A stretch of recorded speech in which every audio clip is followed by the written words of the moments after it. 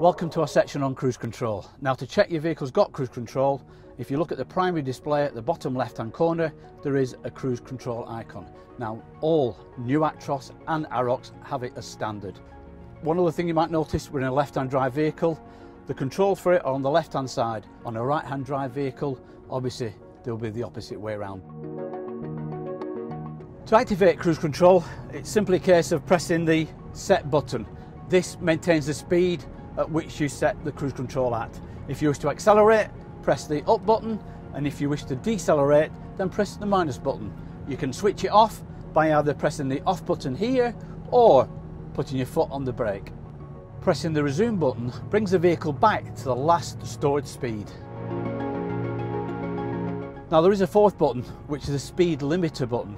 You press this and whatever speed you press it at, you cannot go above that. So for instance, if you press that at 50 miles an hour, then the vehicle, no matter what you do with your foot, right foot in terms of the acceleration, it will never go above 50 miles an hour.